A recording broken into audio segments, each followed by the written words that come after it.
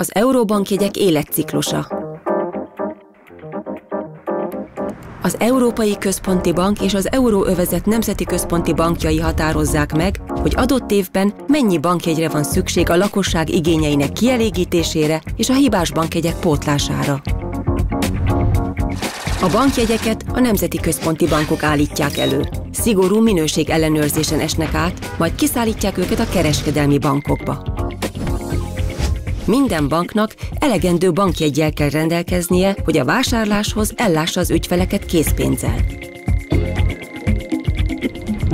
Az üzletben dolgozóknak ellenőrizniük kell, hogy a kapott bankjegy valódi-e. A vevők visszajáró gyanánt kapnak bankjegyet, amelyet a tapintás, szemügyrevétel, mozgatáspróbával ellenőrizhetnek, mielőtt elfogadnák.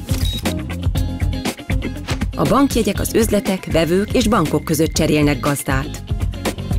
A szennyezett vagy elhasznált bankjegyet visszaküldik a Nemzeti Központi Bankhoz, ahol alaposan megvizsgálják, valódi-e és milyen az állapota.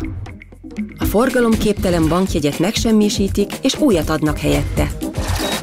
Az épp bankjegyet ismét forgalomba bocsátják. Amennyiben jó az állapota, ez többször is megismétlődhet ciklus ezután újra kezdődik. Az euró, a mi pénzünk.